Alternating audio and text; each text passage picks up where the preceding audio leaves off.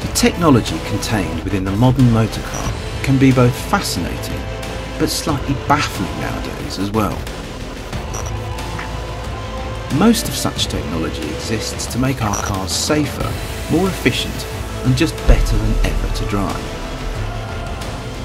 But some of it can be quite confusing for the average motorist, so in this A to Z series we will attempt to unravel the mystery of technology that is the modern motor car.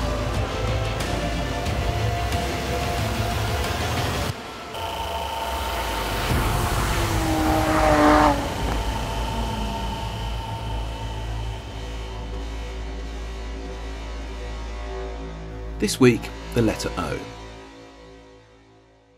O is for odometer. Also known as a mileometer, an odometer is simply a device that measures how far you've travelled, and it's thought to have been invented as long ago as 287 BC by Archimedes of Syracuse.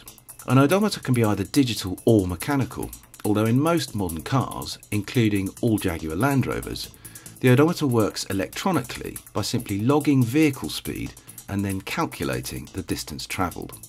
O is for occupant sensors.